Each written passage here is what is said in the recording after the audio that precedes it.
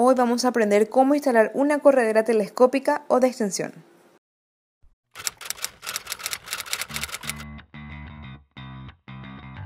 Como primer paso, desarmamos los rieles. Para esto debemos jalar el seguro lateral.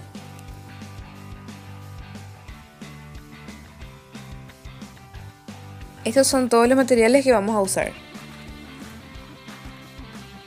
Con la cinta métrica miden la altura del cajón y marcan la mitad.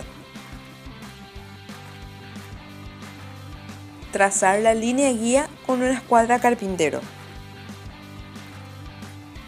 Luego deben colocar el riel delgado al ras del cajón centrando los agujeros a la línea marcada. El extremo del riel está al ras del frente del cajón que aún no tiene la parte frontal. Una vez que está en su posición, debemos fijar todo con tornillos que no sobrepasen el grosor de la pared del cajón. Repetimos esto con el otro lado. Vamos a instalar la corredera del gabinete. Dejando un centímetro de la base, marcamos la altura del cajón. Trazamos de vuelta una línea guía y marcamos el grosor del frente del cajón, ya que este va a ir dentro del gabinete. Colocamos el riel más grueso respetando ese espacio que dejamos anteriormente.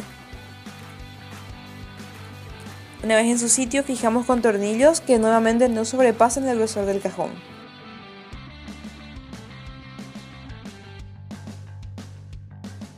Repetimos el proceso en el otro extremo.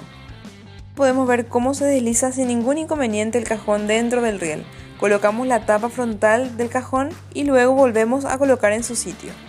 Un dato importante es que para obtener el ancho del cajón debemos descontarle 13 milímetros a cada lado del interior donde se colocará el cajón para que se deslice sin ningún problema.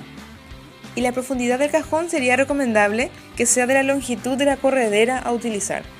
En este caso, el cajón y la corredera miden 60 centímetros de longitud. Para evacuar cualquier duda o consulta que tengan, no duden en contactarse con nosotras. Hasta un próximo video.